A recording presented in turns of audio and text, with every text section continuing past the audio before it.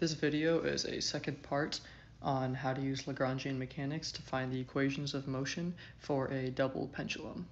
If you didn't watch the previous video, uh, I would suggest you do. The link will, is in the description. Above are the two equations that we will be using. We need two equations because there are two degrees of freedom in a double pendulum. In the previous video, we made the Lagrangian, and in this video, we will use them to find the equations of motion. We will use the equation on the left first, which means that the first thing that we have to find is the partial of the Lagrangian with respect to theta 1. So looking from left to right, the first theta 1 that I see is in the second term, but if you look inside the parentheses, it'll be in the third term that's inside the parentheses, but that whole thing is a part of the second term.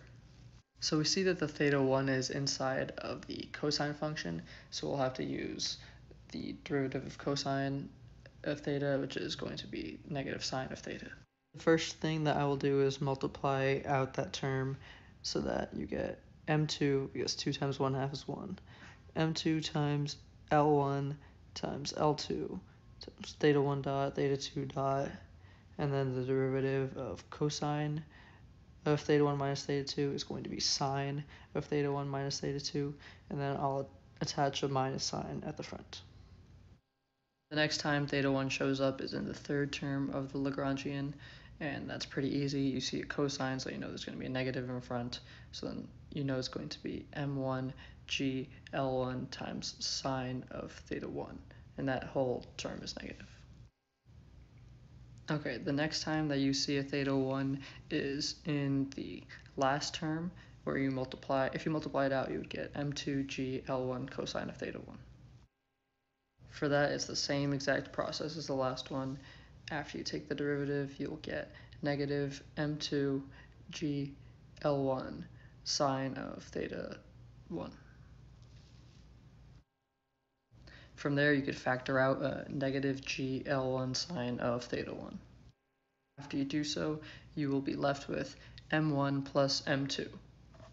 So let me just erase all of this, and then I will replace it with its factored form.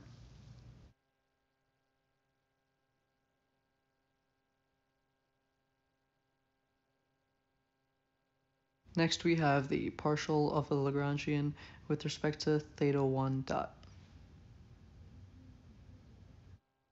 So the first theta 1 dot is in the first term of the Lagrangian and as you can see it's just a power rule you have to multiply the term by 2 and decrease the power by 1 and after you do that you will get m1 l1 squared theta 1 dot the next time theta 1 dot shows up is in the second term, and the first term that's inside of the parentheses.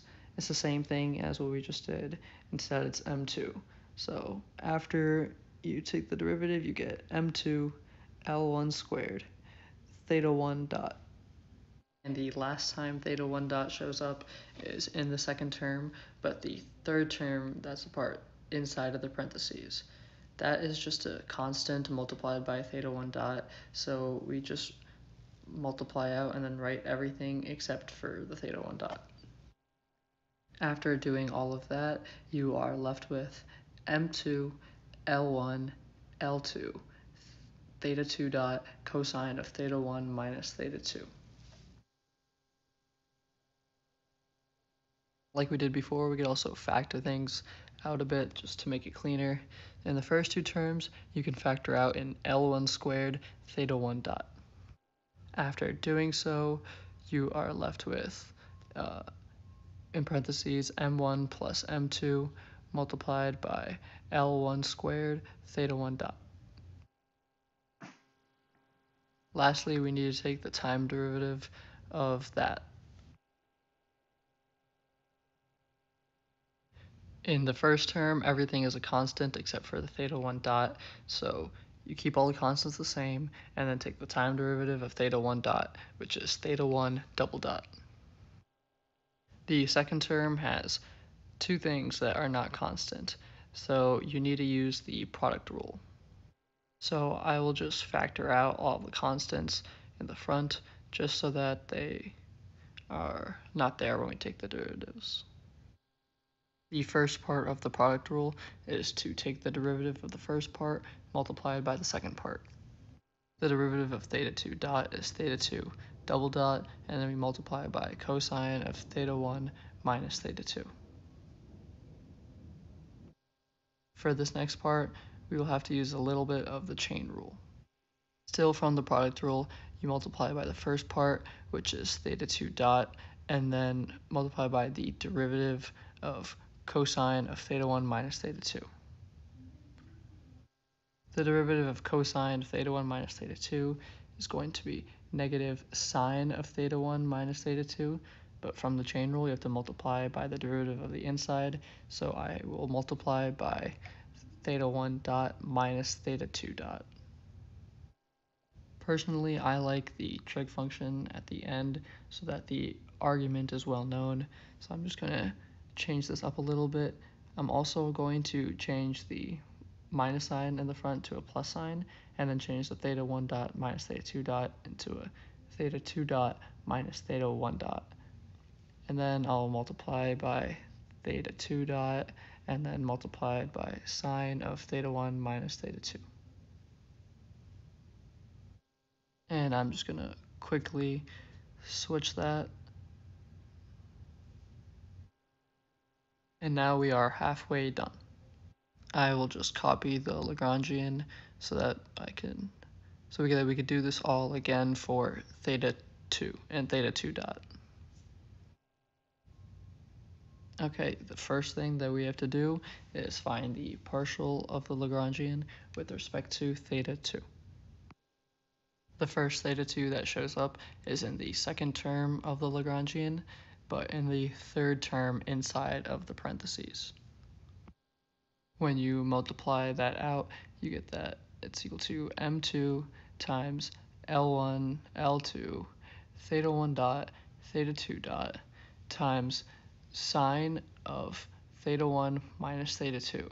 So the derivative of cosine of theta is negative sine of theta, but using the chain rule, you have to multiply by the derivative of the inside of the function, which is going to be negative 1. So those two negatives will then cancel out.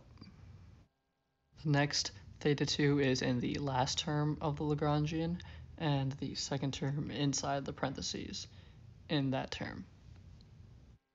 For that, we just multiply out and change the cosine of theta 2 to a negative sine of theta 2. Next is the partial of the Lagrangian with respect to theta 2 dot. First, theta 2 dot is in the second term of the Lagrangian, and then the second term inside of those parentheses. From there, it's just the power rule, so you get m2 times l2 squared times theta 2 dot. The next occurrence is in the second term again, but in the third term inside of the parentheses. From there, it's just theta 2 dot times a bunch of constants. So you get m2 times L1, L2, theta 1 dot, cosine of theta 1 minus theta 2.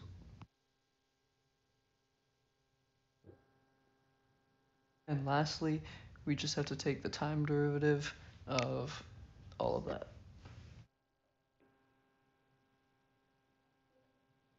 For the first term, it's a bunch of constants times theta 2 dot. So we keep the constants and take the time derivative of theta 2 dot, which is theta 2 double dot. For the next part, we have to use the product rule.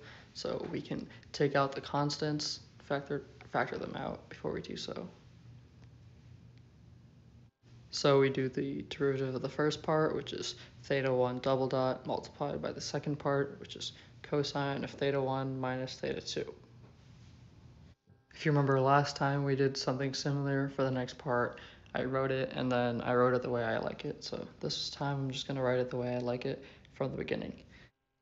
So we start out with theta 2 dot minus theta 1 dot, which is the time derivative of the inside of the cosine function. Then from there we multiply by the first part in the product rule, which is the theta 1 dot. and then multiply by the sine of theta 1 minus theta 2. And that is it. We now have everything we need to make our equations of motion. Now let's write out our final equations.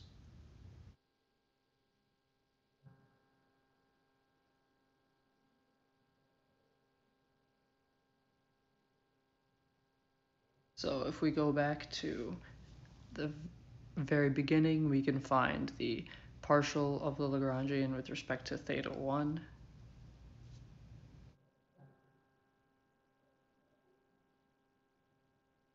This is going to be equal to the derivative with respect to time of the partial of the Lagrangian with respect to theta 1 dot.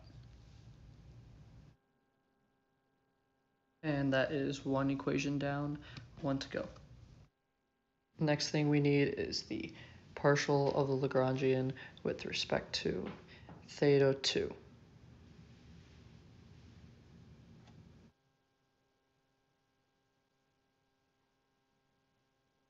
And that is going to be equal to the derivative with respect to time of the partial of the Lagrangian with respect to theta 2 dot. And that is it. These are the two equations that describe the equations of motion for a double pendulum. I hope you enjoyed this video. Thank you for watching. Bye.